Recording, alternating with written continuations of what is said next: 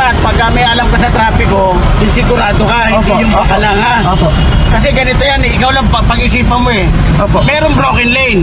Pagka broken lane, pwede, Pwede di ba? Pagka solid, ano ibig sabihin? Pag double lane bawal. Ay, Pero hindi, pag solid, mali ka. ah, sige. Para saan natin nilagay si, bro, Naka-video. si solid lane at saka si broken lane kung parehas lang sila. Pero po, Sentido ko yung Wait lang kapatid. po, wait lang po. Ha? Wait Hindi ka ba nag-iisip? Hindi sinasabi ko lang sa'yo ganito. Naka-video nga tayo, oh. Opo, opo. Mag-explain na po ako. Di ba? Wait lang po. Pag broken lane po, pwede pong lumipat-lipat. Pag single Pagka solid, kasi patinig mo ha, pa, Oo. patinig mo sa video. Sige, pakinggan kita. Pag broken lane po, pwede po lumipat-lipat. Pag solid lane, Pwede pa rin. Pwede lumipat kaso with caution. Ah, walang ganun. Walang ganun. Wait lang po, pa, Pagtatawanan ka ng mga Opo, mamamayan. opo, opo, opo. Ah, sino nagturo sa inyan? Sa driving school po. Ano? Driving school po. Oh, mali yung driving school na yan. Kasi yung ano, ah, ORCR. Hindi, baka mangawit ka niyan. Ayun na pa nagpipigyo yun. Ala yata, artista ako. Isa to sa mga nag-viral kamakailan sa ilang social media platform, partikular na sa Facebook, kung saan nahuli ang isang binatilyong driver ng enforcer dahil sa isang violation. Kung hindi nyo pa ito napapanood, ito yung kinakausap ng driver ang enforcer dahil sa kanyang paniniwala ay walang mali sa ginawa niyang pag-change lane umano sa isang solid white line kaya pinangaralan siya nito. Naisip ko itong gawa ng video hindi para malaman natin kung sino nga ba ang mali sa enforcer at sa driver, kundi para na rin matutunan nating mga motorista ang isa sa pinaka-basic na pavement o road markings. Dahil sa totoo lang, iyang solid white lines talaga ang isa sa nakakalitong road markings lalo na sa mga baguhan at maging sa ilang matatagal ng nagmamaneho ay hindi rin alam kung para saan ito. Ang isa pang nakakabahala ay binanggit rin ng driver na nag-aral siya sa isang driving school kaya nagtaka ako kung bakit hindi niya alam ang kanyang nagawa. Kaya para makaiwas sa ganitong sitwasyon, panoorin mo itong buong video dahil baka isa rin kayo sa mga mahuli ng mga enforcers, lalo na dito sa Metro Manila. Pero bago natin isa-isahin ang mga uri ng solid white lines, pakinggan muna natin ang mga ipinaglalaban ng dalawang panig sa video. Sabi nung ano, sabi nung enforcer, pag solid lane daw na white, bawal daw ako lumipat ng linya. So, di ba dapat two lanes bago, dun pa lang bawal lumipat ng linya. So, papakita ko sa kanya yung ano na to. Ayan o, papakita natin. Ayan o. Boss, bawal daw ako lumipat sa single ano, white lane. Ha? Bawal daw ako lumipat ng single white lane. Sir, di ba po dapat pag double ano, lane dun pa lang bawal. Ano, ano, ano? Pag double lane yellow lane yun, hindi lang basta double lane. Double solid yellow lane, ha? But you make Kapag na fast. broken lane, pwede ka mag-change of lane. Pag solid lane, bawal na. Dalawa lang ang ibig sabihin no, kapatid. Pagka broken, pwede. Pag naging solid, hindi na pwede. Wait lang po, Ayun, tawagan po si Daddy. dalawa lane dyan. Sige, tumawag ka kahit kanino, ha? Attorney Sanchez. Si Daddy nga, si Daddy, pausap ko. Inuuli ako kasi lumipat ako lane sa solid lane, pero hindi naman double side solid lane. Sa Manila, dito sa ano, sa Evangelista recto to, kapatid. recto. Okay, dito na tayo magsimula. Ayon sa enforcer, naganap ang apprehension sa may panulukan ng Evangelista Street at Recto Avenue sa Maynila at makailang beses na rin akong nakadaan dyan. Ibig sabihin, maaring lumipas siya ng lane dito malapit sa may intersection o kaya sa kabilang kalsada dahil malino naman na pareho silang merong solid lines. Ang maganda sa dalawang partido ay nagkakaintindihan at nagkakasundo sila na ang broken white lines ay pwede kang mag-change lane katulad nitong bago numating sa intersection ng Evangelista at Recto Avenue. Nagkakaiba lang sila ng pananaw tungkol sa solid white lines dahil ayon sa driver na nagsaliksik sa Google, pwede ka pa rin mag-change lane kahit sa solid white lines basta gagawin mo ito ng maingat. Ibig sabihin, basta sigurado ka na walang ibang tatama ang sakyan sa unahan, sa gilid o sa likod, pwede kang lumipat ng solid white line.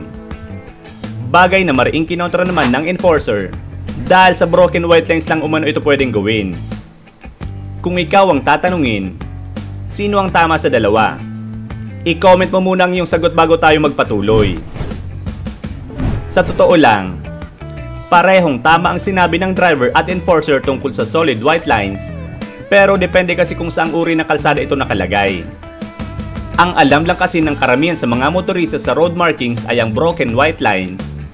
solid yellow double center line, directional arrows, yellow box, zebra crossings at iba pa.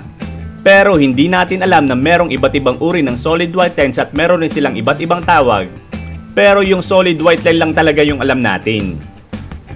Merong solid white shoulder line na makikita sa pinakagilid na bahagi ng kalsada yung binabanggit ng driver sa video na solid white center line kung saan naman nakalagay sa gitnang bahagi na siyang naghahati sa dalawang magkaibang direksyon ng trapiko.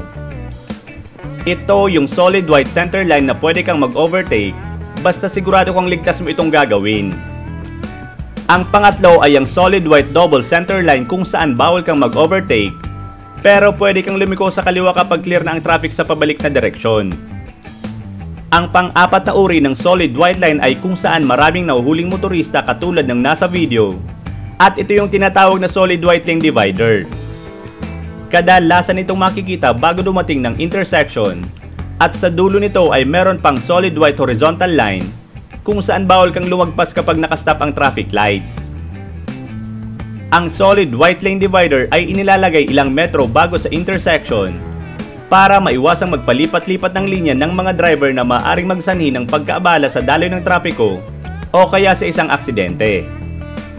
Kadalasan rin meron munang broken white lines bago magiging solid white lane divider at ang ibig sabihin nito ay malapit ka na sa mismong intersection na merong yellow box. Pero pagkalagpas o pagkaliko mo dito ay mapapansing babalik na ito sa pagiging broken white lines kung saan pwede ka na ulit mag-change lane ng maingat. Kaya para maiwasang makagawa ng traffic violation sa mga ganitong sitwasyon, ay lumipat at manatili ka na lang sa tamang lane sa may broken white lanes pa lang para pagdating mo sa white lane divider, ay kampante ka na na hindi ka mahuli ng enforcer. Huwag rin kalimutang sundin ang nakasaad na directional arrow line dahil isa rin ito sa mga kadalasang nagsasanay ng isa pang traffic violation pagdating sa mga intersections.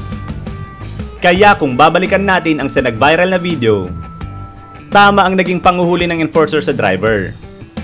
Ipinaliwanag niya rin ang tungkol sa kaibahan ng solid white line para sa magkabilang direksyon at yung isa pang solid white lane divider na makikita sa parehong direksyon.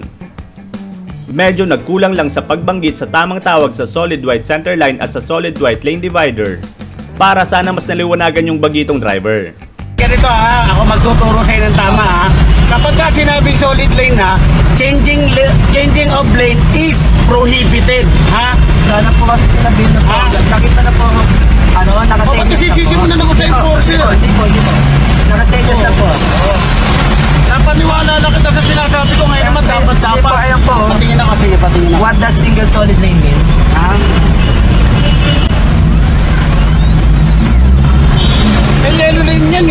Teka lang Eh, mas mahigpit po yung yellow lane. kaysa walang sa may white lane. pit niya kapatid. Pagka sinabing solid yellow lane, opposite yan.